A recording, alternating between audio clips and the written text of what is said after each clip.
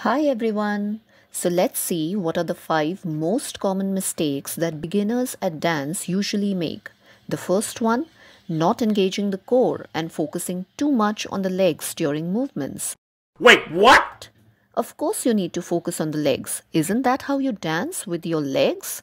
Well, yes and no. Of course you will use your legs to dance, but the focus needs to be on your core. The movement should always initiate from the core. The legs serve to only follow and execute the movement. Confusing? Let's consider this dance step. Now, a beginner focusing solely on the legs would implement it somewhat like this. See how the body looks like it is being dragged by the legs. The spacing between the legs is too much, the hip movement looks strained and awkward, and the body overall looks imbalanced.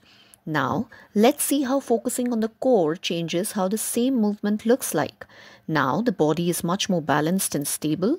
The movement looks effortless and polished. Spacing between the legs is reduced. There's no dragging of the body.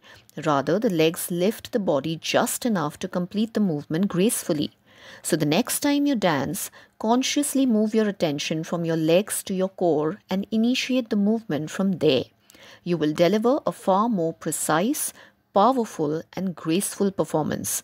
Remember, let the core lead, allow the legs to follow. Follow and stay tuned for the next four common mistakes.